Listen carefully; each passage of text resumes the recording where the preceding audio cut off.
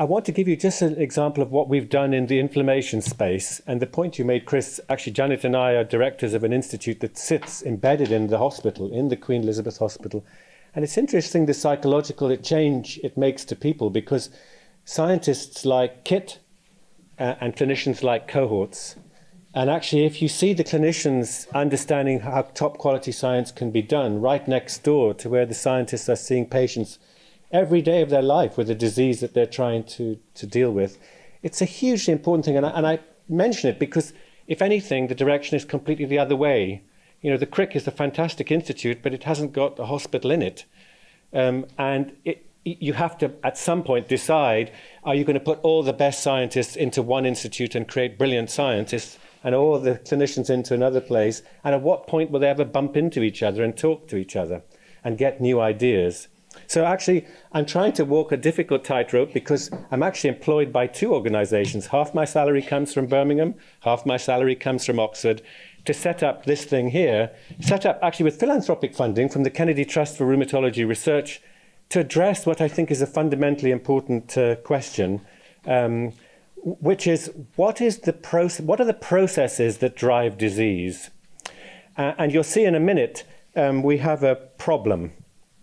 And the problem is this the smartest minds in the world, the scientists, work in this silo here, which is all about mechanism. So if you have your PhD hat on, mechanism, mechanism, all about dose response, it's causal. So when I go into the laboratory, I happen to have got a PhD and an MD, I go into the laboratory, I'm in causal mode. I want to show A causes B.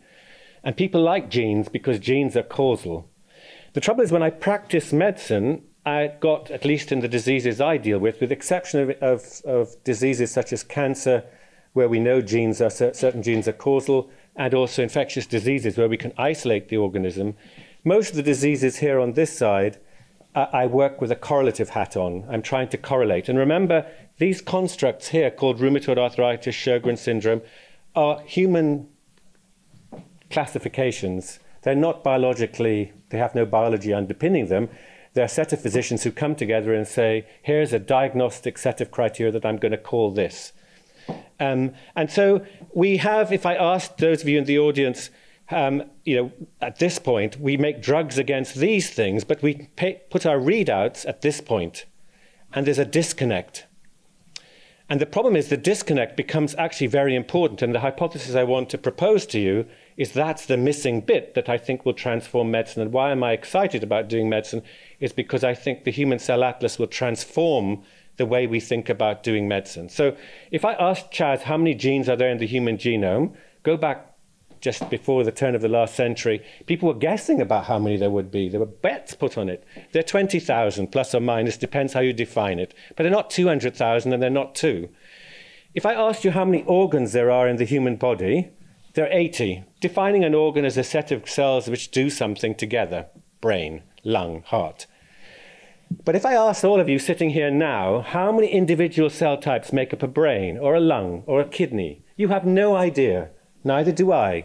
And yet we're using drugs that have and their effect on a cell, and the cells make the organs. So no wonder we have a problem because we're using drugs where we don't understand the cellular basis for the disease which we're trying to treat. So you argued earlier a little bit about understanding the cytokine basis. Is this a TGF beta? I would argue what's the cellular basis by which this is occurring? Is this a B cell disease, a T cell disease, a neuronal disease, a macrophage disease? Is it a red cell disease? In other words, if you could reclassify away from the anatomical basis and the genetic basis to the underlying cellular basis of disease, now we would understand if I gave Chaz rituximab, it will deplete his B cells and I can act in a causal realm. I know that whatever I then see must be because I've depleted a CD19 positive B cell. And sitting here, standing here as a rheumatologist, that's our contribution to where we are at the moment. We were able to get antibodies, repurposed often from treating leukemias, anti TNF, primary indications, sepsis, repurposed to rheumatoid arthritis. But we people like Marc Feldmann and Tiny Maini had the guts to go and do experimental medicine to see where this would take them, but then they learned from it. So I would argue the next five years are going to be not big data. I think it'll all be about understanding the cellular basis of disease. So we will know the cell atlas. It'll be a bit like instead of going to the States using the Mappa Mundi, which is what we currently do, right, in this setup, we would actually have Google GPS. We would know exactly where we're going. We would know that there are 16 types of individual cells that make up a brain. In fact, there are more, there are 72. There are 24 that make up a placenta. Interestingly, the same cell type that you see in a placenta is identical to the one you see in the skin, now explaining why people who are treated with psoriasis get placental problems. Right? So if you understand the cellular basis, you can say there's a mechanism behind this because now I understand that this particular cell I see in this disease, and guess what? I see it in another disease. Now I reclassify that based not on this ridiculous taxonomy that's 200 years old and you know was good at the time but based on an anatomical one it was better than before that when we had you know the agues and, and rumors in the air that you breathed in and that's why you got disease at least we moved to an anatomical basis but we're siloed into specialties that are based on anatomy the brain, neurologists, the joints, rheumatologists, the skin, dermatologists. Biology doesn't give a damn about which organ you're in. It's about which cells make up that organ. And therefore, the proposal I'm trying to sell to you today is by understanding that, we might make a step change. Of course, the null hypothesis is that's completely wrong, and then I will look a fool. But I'm prepared to take the step and be employed by two organizations to test this hypothesis formally. So, what are we going to do? We don't call it stratified medicine, we call it stratified pathology. The problem with the current way we do disease is we make an artificial construct. We call it rheumatoid because it it is symmetrical, it's swollen, it's early morning stiffness. The only bit of biology we have is a bit of rheumatoid factor and CCP and ESR. Imagine if you had a breast lump and the oncologist squeezed it and said, according to how I squeeze, I'm going to give you Herceptin. That's partly what we're doing here in rheumatoid arthritis. The end point, the construct that we call rheumatoid arthritis, has no biology in it at all. And even worse, we're in a linear scheme the regulators and everybody else says that you can only get a license to practice that drug unless you fulfill these criteria, which are disease activity score, squeeze it and it hurts, the American College of Rheumatology, not much better, and X-ray. And now, if I have a drug that changes those parameters, I can get a license for that disease. But I can't get a license for this disease because I've used different readouts for that disease. The reality is they share an awful lot in common. They, these two, rheumatoid arthritis and inflammatory bowel disease and spondyloarthropathy, respond to anti TNF. Interesting, but Sjogren's doesn't, right? Rituximab works in MS, diabetes, rheumatoid arthritis, myositis, these are new classifiers based on the, the, intervention of the drug you're using and the cell that is being targeted or the process that's being targeted. And so, what the ATAP, the Arthritis Therapy Acceleration Program, is trying to do in the inflammation space is what I'm suggesting you might want to do in the aging space because inflammation is a process and, it, you know, rheumatoid arthritis occurs in the joints but not the brain, but the inflammatory process that's similar in the joint and similar in the brain. Anti TNF makes MS worse. That's telling you something about pathogenesis. So actually, you can turn your lemons into lemonade by using when drugs don't work, by understanding why they didn't work. And that's what the ATAP has at its heart. And it uses a, a strategy design called basket trials and umbrella trials. I'll tell you a little bit more about them. But it, has, it says, here's Smarty. I'm going to target this red Smarty. If this red Smarty at a cellular basis is present in these diseases, I should see an effect based on the pathological changes. If, however, this disease, Sjogren's, only has that particular cell type that's not or process that's not shared in the others, I'll only see an effect in Sjogren's. So a basket trial is one drug, many diseases or many indications. An umbrella is the other way around. That's classical StratMed. We have basically one disease, rheumatoid, five different treatments, which one is working best for which type of patient. Now, everybody and their dog's trying to do that. Good luck to them. But we're setting our store up to answer this particular question because we think if we can do that, then we'll understand about why drugs fail as well as why they succeed. Here's the structure cohorts are kings, biomarkers are beggars, data is dynamite. Right? But curated cohorts of patients, we were talking earlier about what the NHS brings. It brings a huge workforce of very engaged people who just want to be loved. Right? And the clinicians beautifully curate boutique cohorts I don't want 10,000 patients. I'm not going to learn anything from 10,000 patients. The cellular basis will tell me actually I need very few. And here comes the rub. because I practice medicine in a Bayesian way. I take into account the past medical history, but all our trials are based on p values, not on Bayesian calculations. And the moment you switch to no placebo, but a comparator arm that's another disease, you can introduce that type of, of stratification, that type of statistics. And a Bayesian approach drops your numbers of patients required from 100 down to 10 in each arm. And I can show you the power calculations by which we do that. So it's four diseases. We have these work packages, cohorts are kings, and the biomarkers attached to them. We have John Deeks, who's a world expert in understanding how these uh, biomarkers, which actually are in the tissue, not the blood. The trial design has to be innovative and is done in a very special way, which I'll show you. And then how we integrate the data in a non-threatening way. We use a system which is the industry standard called Transmart that allows the curators of these cohorts to deposit their data and they only can see rheumatoid. And if they want to share it with me with Sjogren's, they can share it but they don't have to. And they can keep in their silo or they can share if they wish. And this system has been used, in fact, Jan Janssen were the first to use it, is now an industry standard, to collect this kind of data, not just clinical data, but actually uh, the cellular basis and genetic basis. I, uh, I, told you earlier, it's all about getting tissue. The truth is in the tissue. Uh, people told us 10 years ago this was going to be impossible uh, patients wouldn't like it. Not only do they, do they like it, because actually washing out their joint makes them better, but they come back for sometimes two or three biopsies. So you can do a time course. You can have a patient with rheumatoid, you biopsy the joint, you give a drug intervention, you biopsy again. And then you look and see what has changed in that joint, because that's where you want to see the change. The cohorts that I showed you there in rheumatoid arthritis are equivalent here in Sjogren's. We biopsy the lip. I've had my lip biopsy twice. It's not that awful. And patients with Sjogren's have dry mouth, but they heal perfectly fine. And in fact, we got patient, uh, some of our colleagues from Novartis, because we did one of the trials with them. And you were mentioning earlier about uh, scientists, colleagues in industry, never been in a hospital except as a patient or see their relative.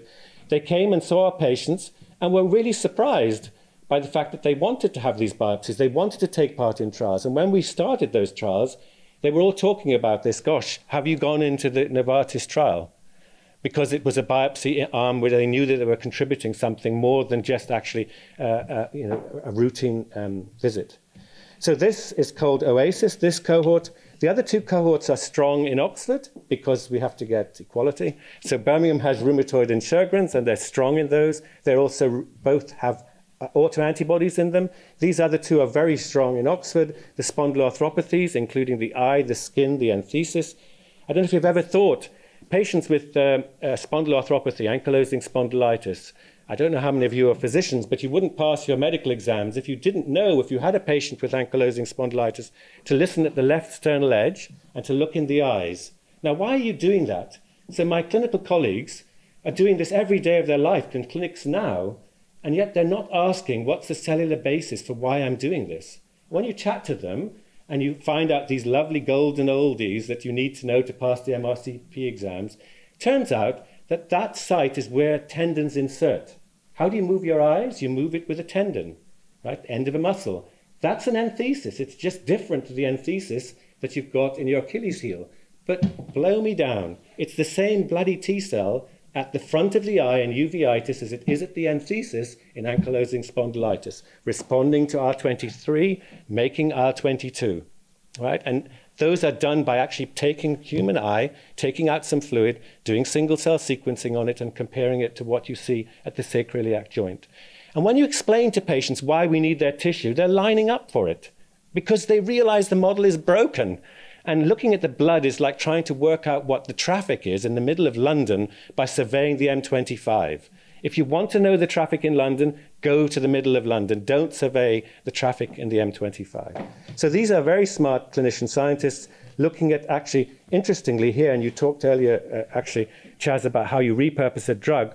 Takeda killed off the anti GM-CSF program a small company set up to go and buy the asset, make the antibody themselves, and they're running this now as a trial of 70 patients using anti-GM-CSF repurposed from IBD to ankylosing spondylitis based on this population of cells being there before and after. And we can power against a change, a probabilistic change in that population of cells. We don't know if the patients will get better. It's not powered for clinical efficacy, but it's powered against a change in that pathology.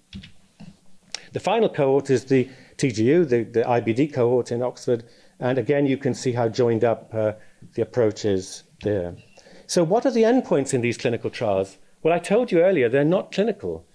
These patients who are coming in at phase 1b, 2a, we hope that in 10 patients there may be a spectacular clinical advance. Sometimes you get it, like anti TNF. But actually, we want to know did the drug get into the tissue and make a difference? And so, only with four markers, that's all we need, Chaz, four biomarkers, I can tell the difference between osteoarthritis and rheumatoid arthritis over six patients on a biopsy. This is routine histology, immunofluorescence. And I won't tell you what the markers are, but you can see here in the lining layer and the sublining layer, they're anatomically in a different place, and in the lining layer and sublining layer. It's nice to know where the cells are, but you need to quantify them. And people are quantifying in the blood every day of the, of, in every hospital. This is what happens in clinical routine immunology labs where you quantify using flow cytometers. And, yeah, and the regulators are very keen for these outcomes because they're standardized, used in leukemias all the time. What we do here is something called liquid histology. We digest the tissue and count the number of cells, give the drug, digest the tissue, and count the number of cells and see what the change is.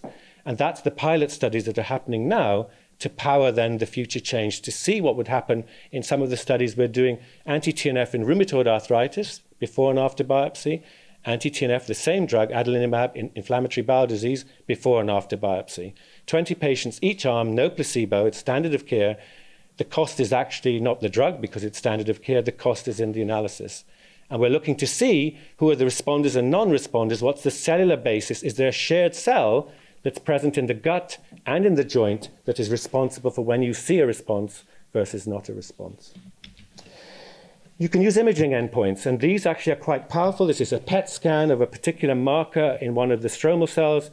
In a, in a person, um, you can see the normal joints aren't involved. Here's the shoulder, and here's the knees. So you could use exactly the same. This is an anti-FAP antibody in rheumatoid and in inflammatory bowel disease and in Sjogren's.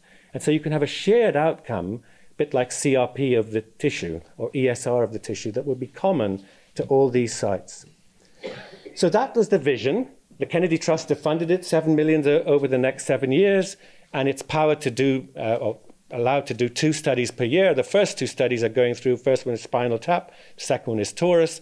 And now companies are starting to get interested in this cross comparison, particularly as we tell them, look, to do it, normally you would choose your drug, drug X, I've got disease indication Y, I do my trial, 20 million pounds, 19 out of 20 times, it fails. So, what if we de risked it down to you that actually instead of going into that trial now with one disease, you go in with four and you go into a basket trial? And I'll show you how that's done because you have to decide what you're going to use as entry point into the basket criteria. This is used routinely now in rarer diseases and, of course, in cancer, where we borrowed that, that from.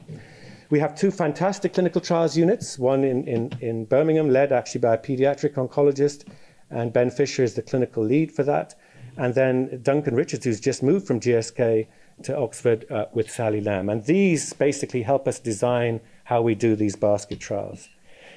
Have a look at your umbrellas and your baskets if you're interested. This is a great review, but in essence, it's a single disease. You screen for the presence of something particular. In this case, it might be autoantibodies. So you're going to have rheumatoid, Sjogren's, inflammatory uh, muscle disease, any disease where you've got autoantibodies, you put them in and you say, okay, my drug I know targets B cells. Now I put them in these different uh, components and I ask before and after what has happened. And this powers then the companies to say, we got a hit. And we got a hit in the tissue and it makes sense. And now we move seamlessly because the regulators allow us not to stop the trial and start again. You have an adaptive trial design. Basically, you stop at this point, you kill off the two diseases where you didn't see an effect and you carry on with the one that you did into a bigger cohort.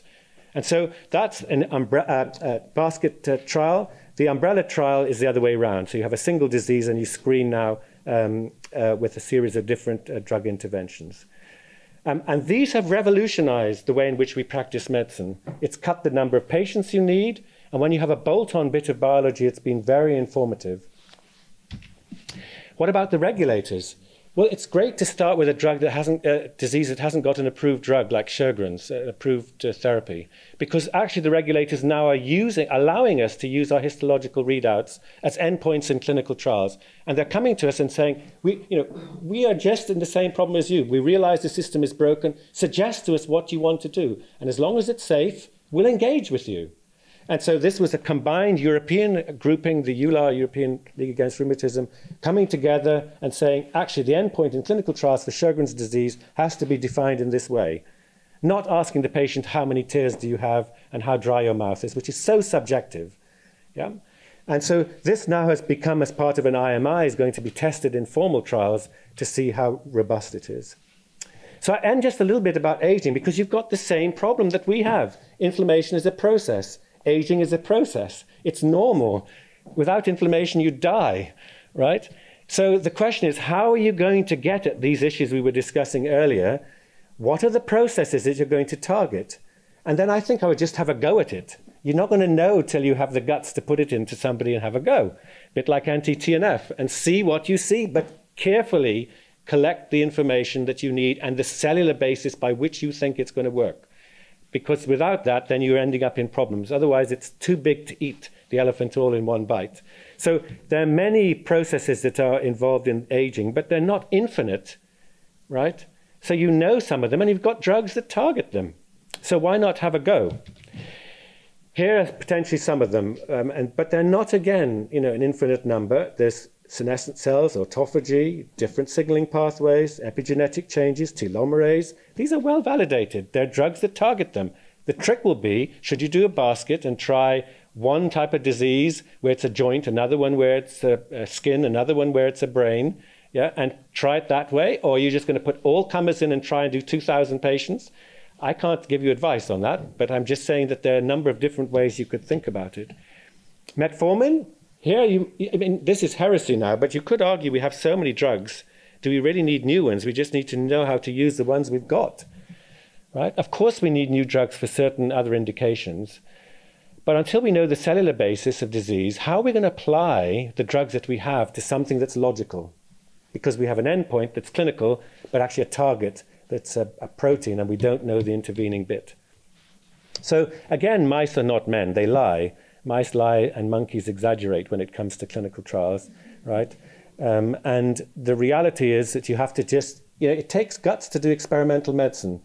Without any disrespect to my Oxford employers, right? I am going to tickle them a little bit because there's a, a kind of joke, you know.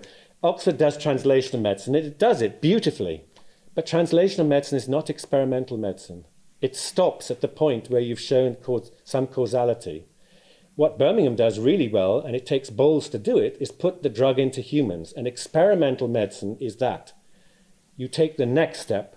That's why I love the consortium that I'm working with, because I get the best of the best science and the best of the best experimental medicine. And that's the dream ticket. And you can't do it with one or t'other.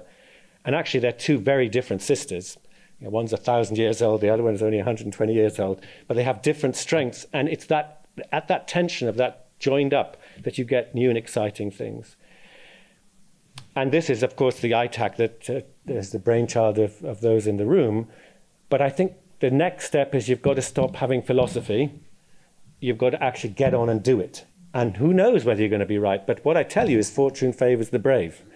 But if you're going to do those studies, for goodness sake, capture all the biology and the cell biology before and after anti-TNF single cell sequencing, before and after rituximab single cell sequencing. That's what we've been doing on 10 patients. And you only need tiny numbers. And you, you know, a couple of weeks ago, three patients with inflammatory bowel disease, a brand new cell type in the bowel where all the GWAS hits for inflammatory bowel disease coalesce on that senses pH. Three patients is all it took. Cells don't lie, and you don't need thousands of them to see a big difference. We need a new approach. I don't need to tell you this. This is the valley of death, right? And that's the problem. If you mention to any uh, chief executive of a pharma company 3.6, they'll quiver in their boots because that's the return, average return on investment in pharmacy, pharmaceutical industry now. Of course, there's some with big and some with little, but it's not sustainable. And that's because drugs don't fail for lack of uh, for problems with safety. We have good regulators, but they fail for lack of efficacy. And the problem is we keep throwing the ball against the wall when we ought to just go around the wall and throw the ball on the other side. And these are, don't require industry to solve these problems. This is a medical profession problem. And one uh, of how we inter, you know, that's why I asked the question earlier about the NHS university interface, because that's where these discussions have to happen, not between academia and industry. That, that ignores the patient completely. You can make all these assets, but if you don't trial them, put them into patients, how are you going to know whether they're going to get better? And this is the ATAP pipeline where, again, I would encourage you to get patient advocates. They're very good at making change happen. Nothing about us without us. Get them into your ITAC groups. Ask them what they really want. Uh, and, uh, you know, they're incredibly helpful and, um, and very insightful. Um, we, often our patients will say to us, look, you know, now we understand why you're wanting to biopsy. You never explained it to us before. If you want to biopsy my gut, go ahead when we tell them that microbiome is also associated. And so we're doing interesting studies, giving deuterated water to patients with rheumatoid arthritis and looking at their guts and joints at the same time. Yeah. And, and these are things that actually, when you talk to patients, they say, well, if you don't do it now, who's going to do it? And actually, the mice have been lying all this time. So let's get back to where the UK was really good in the 1960s at experimental medicine. You know, where were the proton pumps done? Where were, where were the, the scopes that went down in the 1970s and then along came cimetidine and you measured pH before and after? That was what the NHS was brilliant at in the 70s. The Hammersmiths, Birmingham was actually one of the centres. Colin Dollery trained there. You know, we need to get back to that kind of cellular pharmacology now that we were really good at and we got diverted with genes and we need to get back to the cells and to get at these kinds of things. So I'll end just with a video. I don't know if Greg, if you're up there, if you could put it on. Um, it's a bit of shameless self-publicity, and I apologize for that. But you know, one thing I have learned is if you want to engage industry, um, it's like a slippery eel. They're interested, but you've got to show them firstly that you, could, you can deliver, and secondly, it's always good to have a good video that tells the story, and you don't need to, to say it. So could you put it on for me, Gary?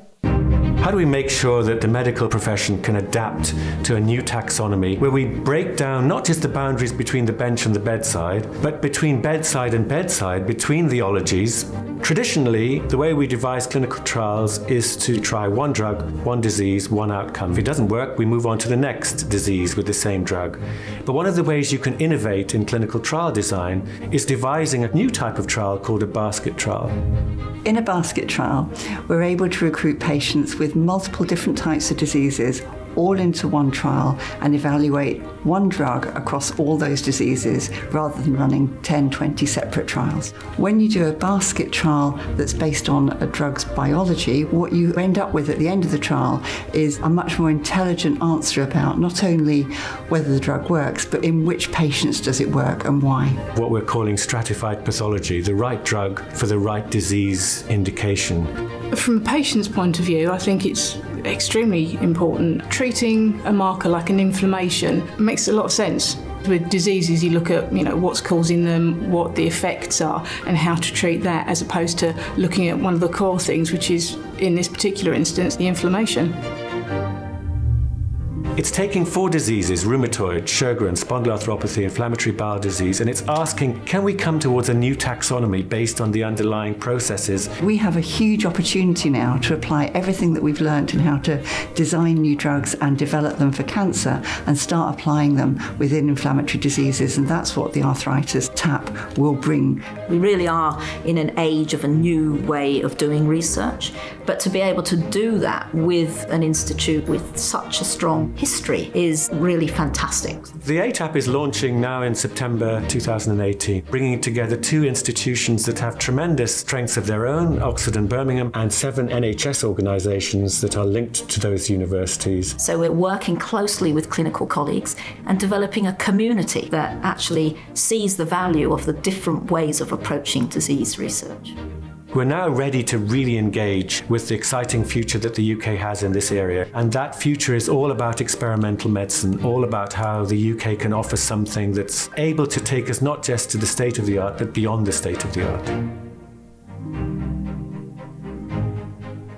So it's a great place to be and to work in the UK, and we want industry to come and work in it, but we want them to use our NHS, and we want to engage the sleeping giants of the consultants in the NHS to tell us some of the interesting stories that they have and how we can best target drugs in this particular setting. Thanks for your attention.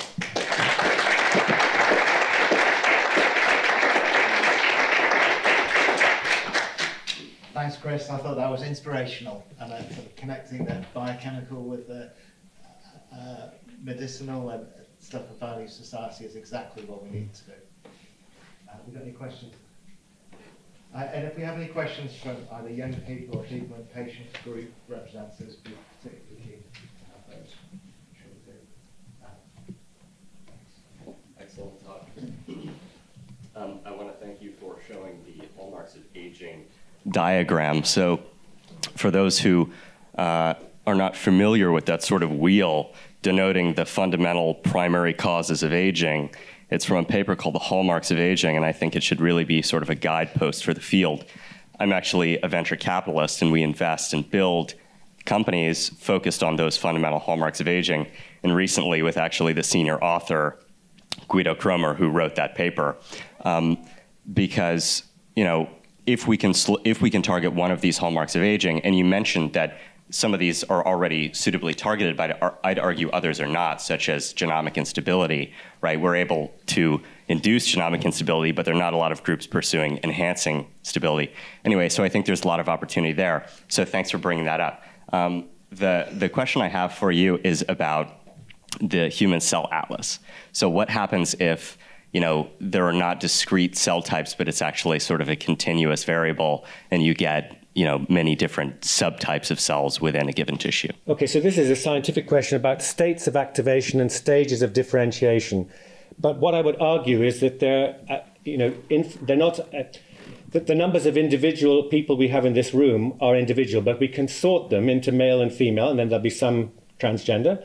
But the reality is, you can sort into certain phenotypes that then you have to say the best definition of that cell is how it behaves.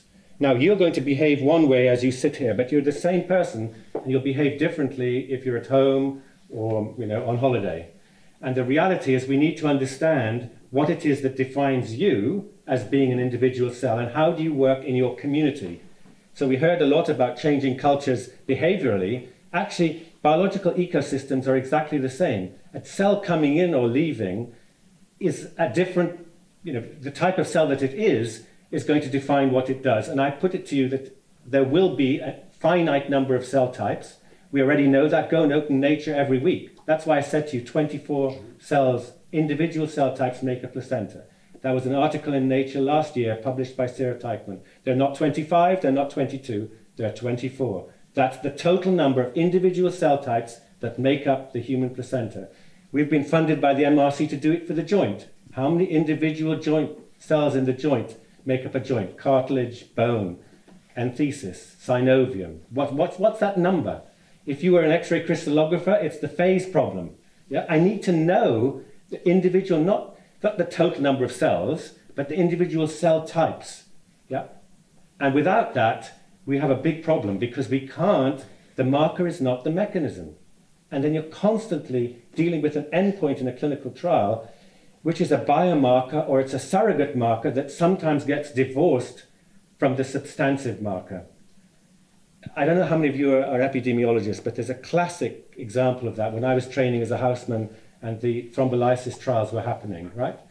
And so th- this was the big time of the ISIS trials of thrombolysis to, after myocardial infarction. And one of the problems is people were dying of ventricular arrhythmias afterwards. And so people used flecainide and the biomarker was actually the ECG.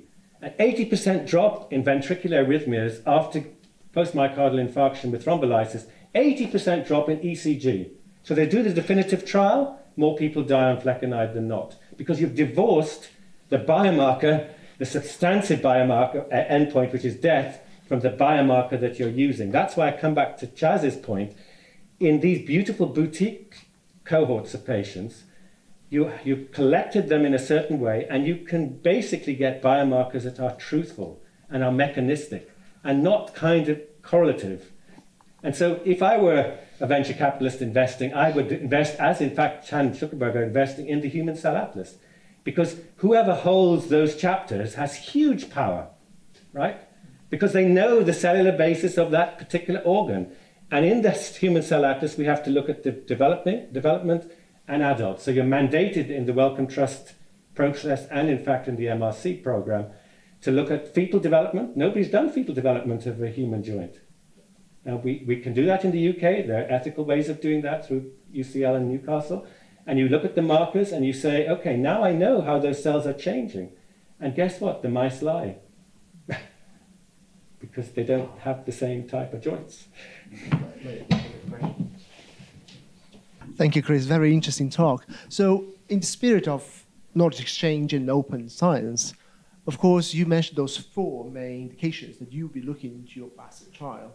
But of course, there are lots of other diseases which can benefit from the results you are generating, sometimes with biomarkers that you will, some uh, data you'll be collecting when you interview patients, or even with add-on small equipment, you can actually get data for all the indications.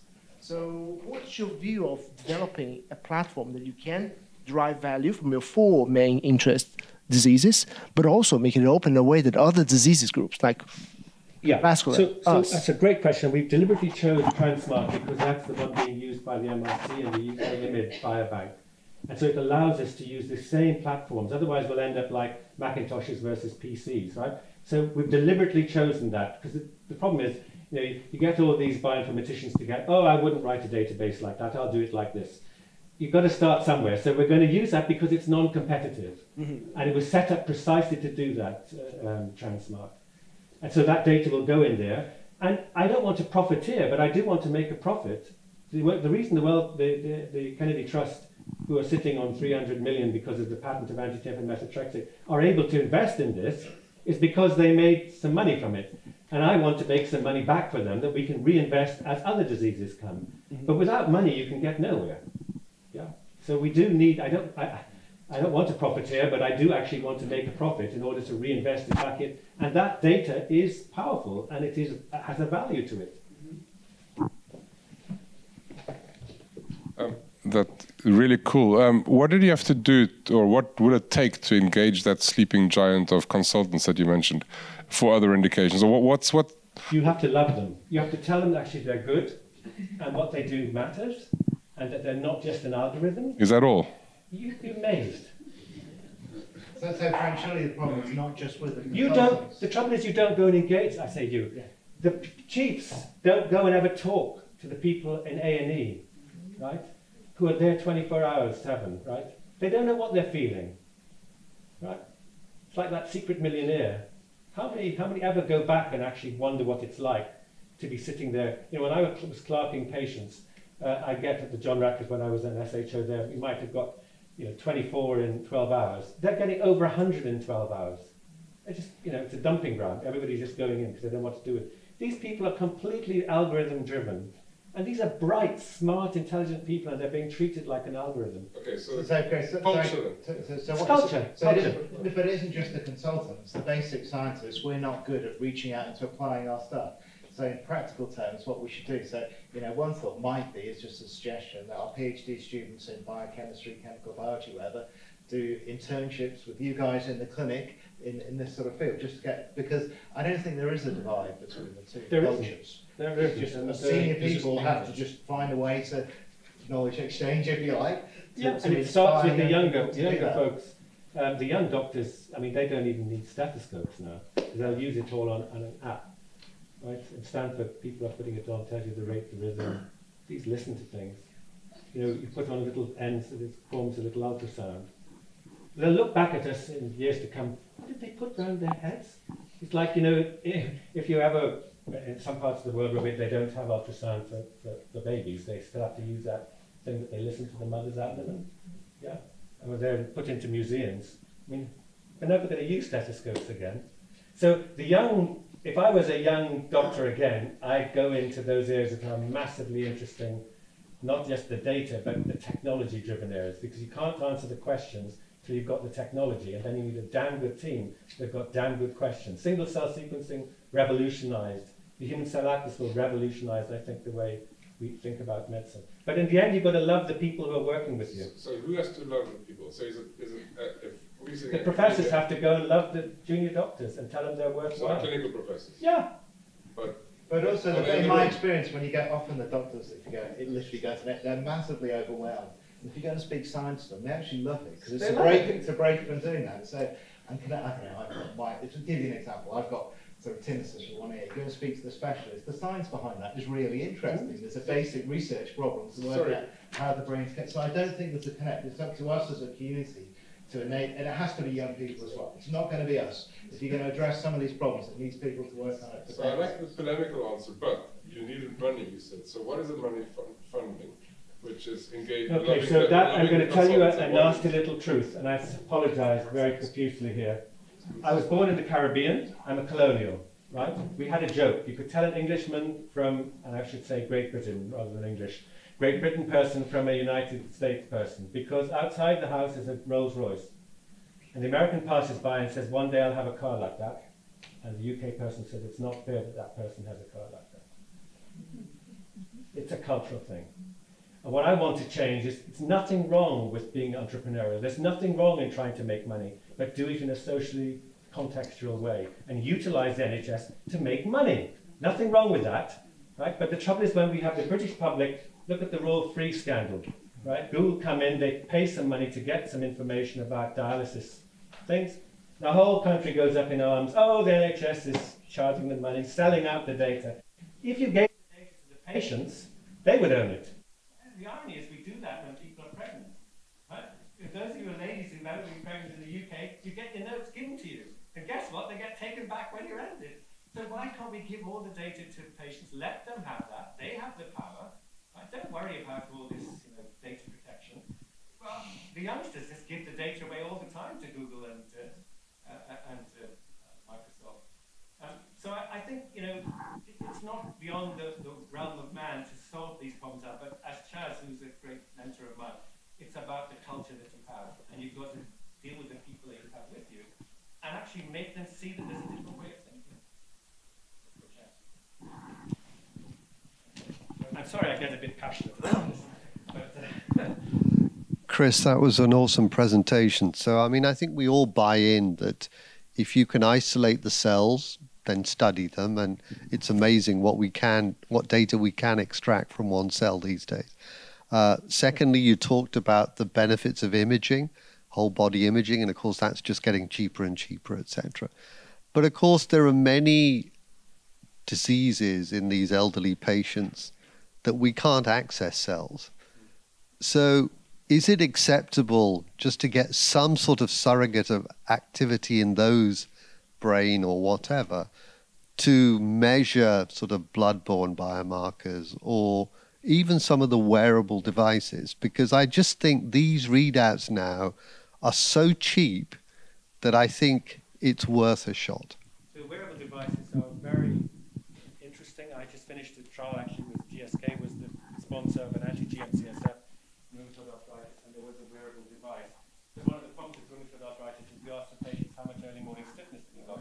How on earth are they going to know? How do I know? But a wearable device tells you how well you slept, how many times you moved, over in bed. It's quantifiable. So that's all I would say is measure, measure, measure, and use measurements that are robust.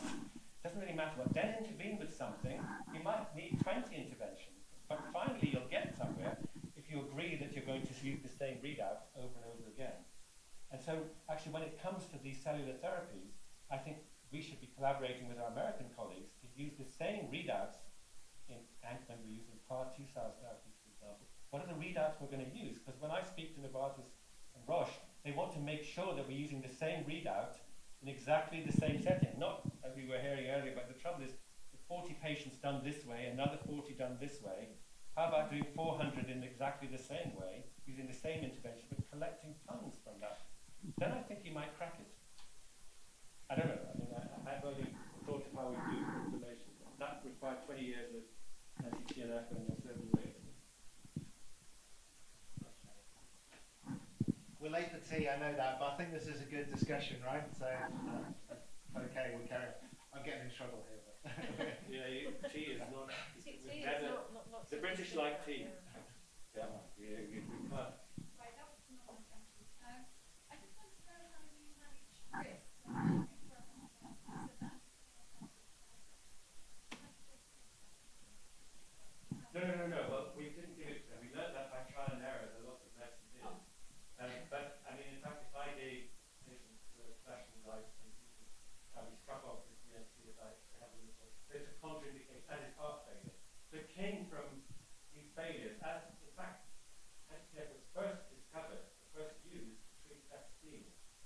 and it didn't work.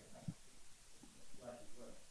But what I'm arguing is actually when you engage the patient, and explain to them, there's often in these cases we're repurposing drugs.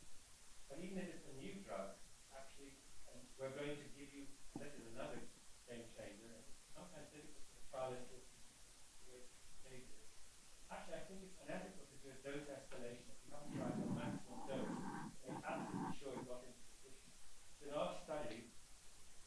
the will allow you know, one month post the drug, and we use the highest dose in that patient, that group of patients, we biopsy before and after, has the drug got into that tissue? And that's actually an important question.